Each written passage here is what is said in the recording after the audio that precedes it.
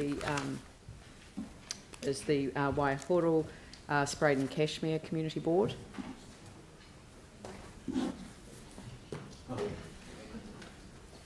Karolin Potter.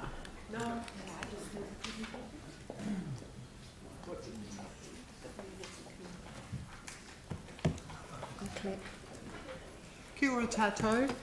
Um, I'd just like to congratulate my, the person before me on the, the car rally.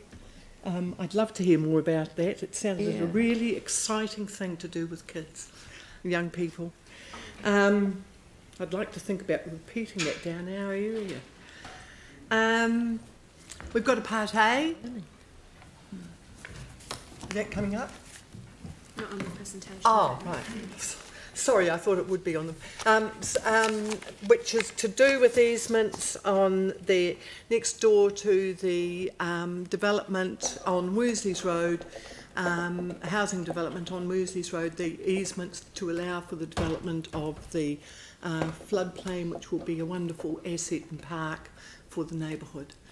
Um, as I've mentioned before, this, um, has, literally switched a whole neighbourhood around about partial, partially resenting the new housing development into um, a great deal of enjoyment in the new park where they're already people are walking their dogs and, and walking kids etc um, um, in a development that's going to be an absolute enhancement of the neighbourhood as the other uh, flood developments have been in the other two areas that have already been done.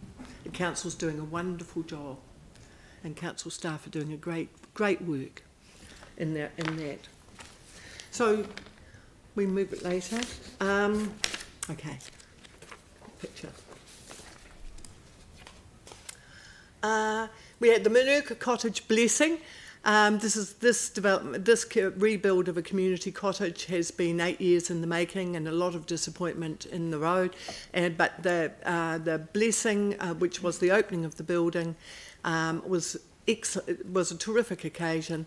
Um, this has been done on a reserve next door to um, uh, Ōtautahi Housing, um, and with a playground outside of it, and it is going to be a, a terrific asset in the area. And um, it has taken a lot of work by council staff, particularly because it's building on a reserve, but it's going to be worthwhile in the end, and it's a it's a great building. We were really pleased to be there and to be um, at the blessing, and we look forward to the opening. we've had the turning of the sod, we've had the blessing, we now well, then we're going to have the opening, but it's all been worthwhile. Thank you. Um, this was a very special occasion. Um, our, the board has been enabled by staff to um, every couple of months have our board meeting somewhere else. And this was at Addington School. And 13 years ago, our board tried to get um, Addington kids and community access to the school, which had been split in um, half by Brougham Street, the building of Brougham Street. And our board tried to get some access to the school by the people who were left on the other side of Brougham Street, separated from the traffic. We wanted to, um, we were ignoring disability access and asking for an overbridge. Um, we would not ask for that now. But we wanted a tunnel or an overbridge to get the children across the road. That never happened. We, um, we put a, quite a lot of pressure on, on NZTA at the time. We failed.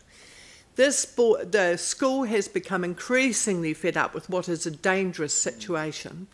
And, it, um, and at this meeting, we had parents talking to us and children. That's um, Tessa Cook and Jacob Wilkins McClay there before us. And um, we had uh, community members there and we had NZTA. It's very much to NZTA's credit that they came prepared and they promised the school that within a period of two years they would be building, and they didn't specify, but they said they would be building a crossing of Brougham Street for the Addington community that would completely separate the community and the children from the traffic. Unfortunately and sadly, and without any prejudice, I'd just like to say that the following day a cyclist was killed on that particular crossing. And um, uh, and that is what the school has feared. They showed photographs, for instance, of uh, uh, trucks and cars on the crossing who had not stopped at the lights as they should have done.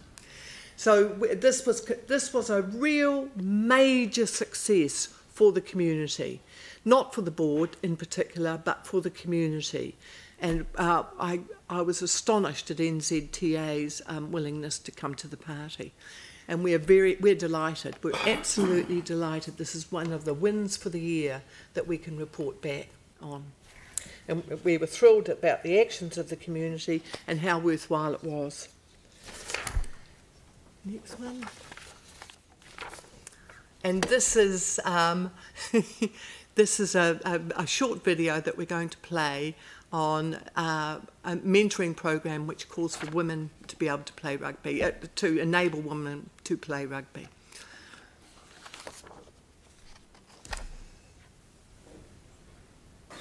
Nothing gets in the way when the suburbs and Prebbleton under 16 women's team hit the field.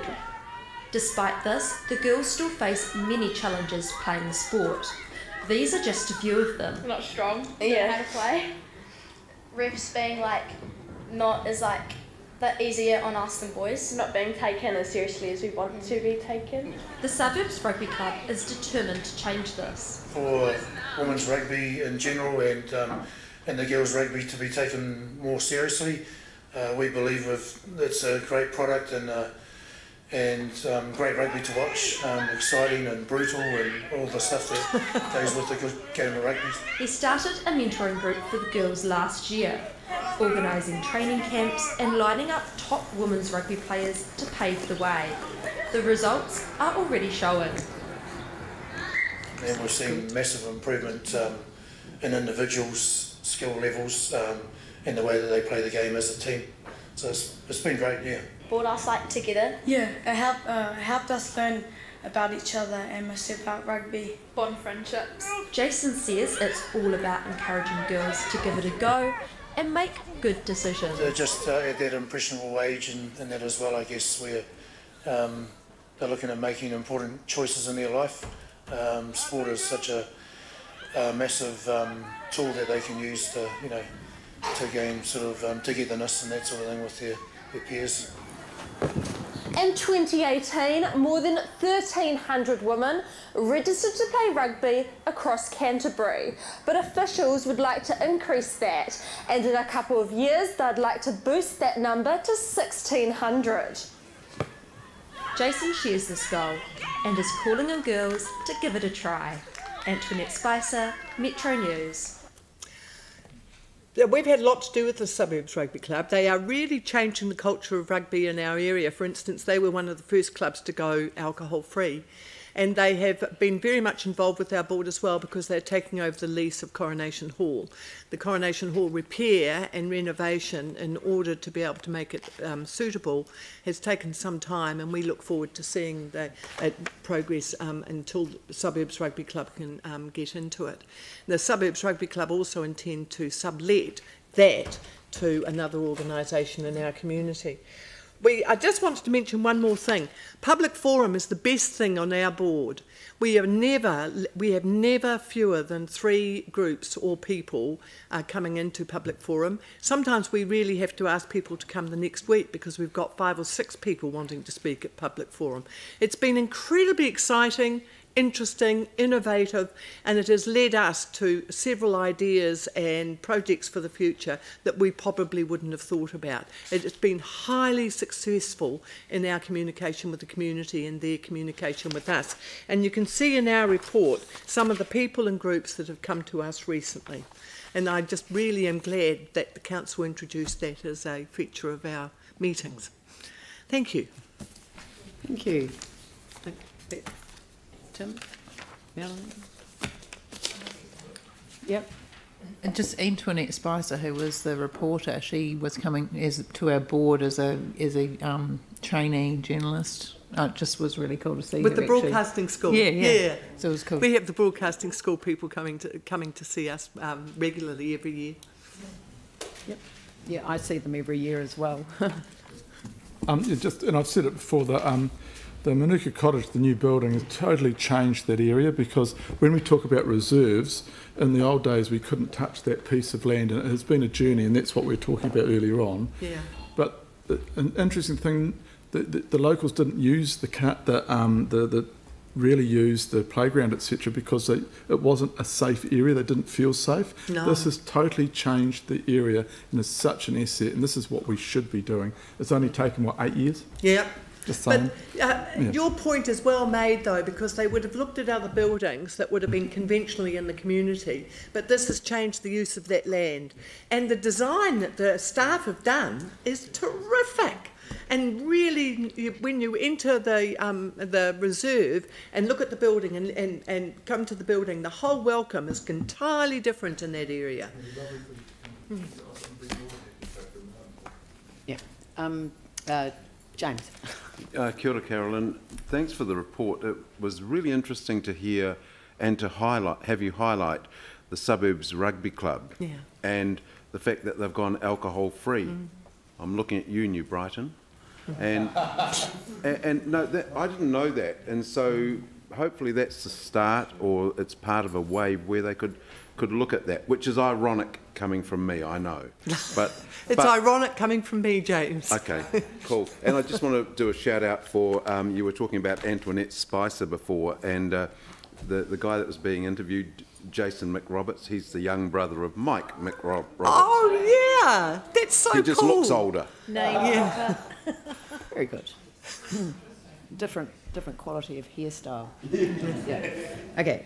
Um, so it's been moved by Tim, seconded by Melanie. I'll put that motion. All those in favour say aye. Those opposed say no. That's carried. Thank you. Thank you very much. Our next one is uh, Te Pātaka o